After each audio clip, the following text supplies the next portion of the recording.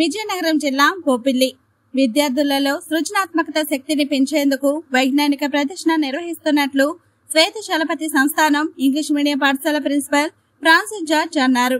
శ్వేత చలపతి పాఠశాలలో సోమవారం వైజ్ఞానిక ప్రదర్శన నిర్వహించారు. ఈ సందర్భంగా ఆయన మాట్లాడుతూ విద్యార్థులలో దాగి ఉన్న సృజనాత్మకత శక్తి పెంచేందుకు వైజ్ఞానిక ప్రదర్శనలు ఎంతో దోహదం చేస్తాయన్నారు. వైజ్ఞానిక ప్రదర్శనలో తొమ్మిది వందల ముప్పై ఏడు ప్రాజెక్టులను విద్యార్థులు ఏర్పాటు చేశారు.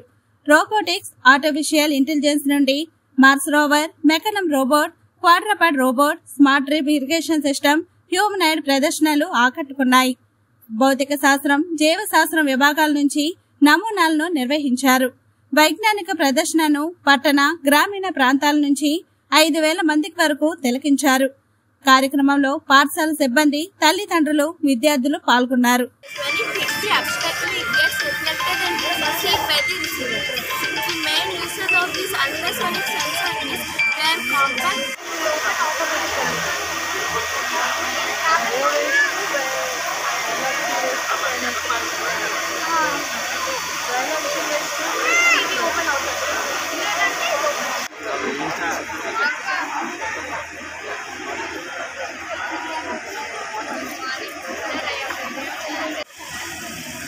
Explain it. Good morning, Linda. I'm Joshna of class 8 and she's Victoria of class 7. We are here to tell about upscaling our It is an ingredient and not In this, we are using the quality code. The quality code is used to access the data. And the